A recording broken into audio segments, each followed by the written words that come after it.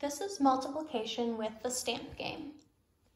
So I always start by reading my card and I can tell that this will be a dynamic multiplication card because it has this star on it. That means that we will be doing some regrouping. So I start by looking at my problem and writing it out here.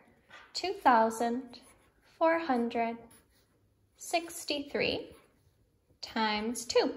That means that we'll have be making two groups of 2,463. So let's start with our ones place. 3 times 2. So we are going to make two groups of 3. One, two, three. That's one group of three. And one, two, three. That is two groups of three. If we were doing three times three, we'd add another group down here. We're just doing three times two. So we'll slide those together. Three times two equals six. Now we have six times two. So that means that we're going to make two groups of six. So here's my first group.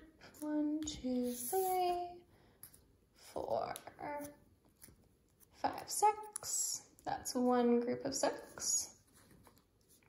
And one, two, three, four, five, six. Two groups of six. Two, four, six, eight, ten. Oh, ten tens make a hundred.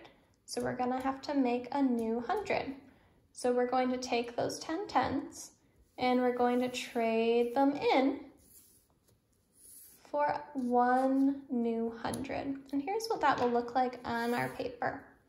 We're left with two tens.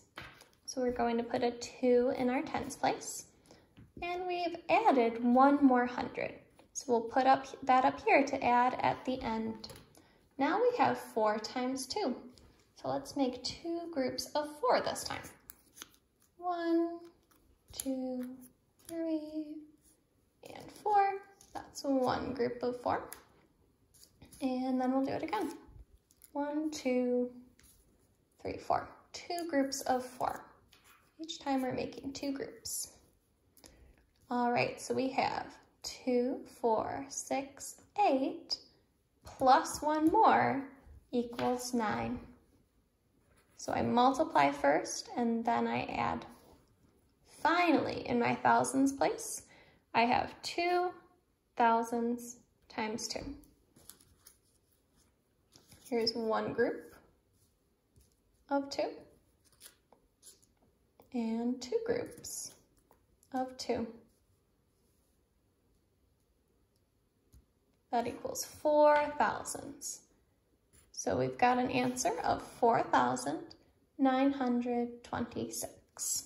And that is how to do multiplication with the stamp game.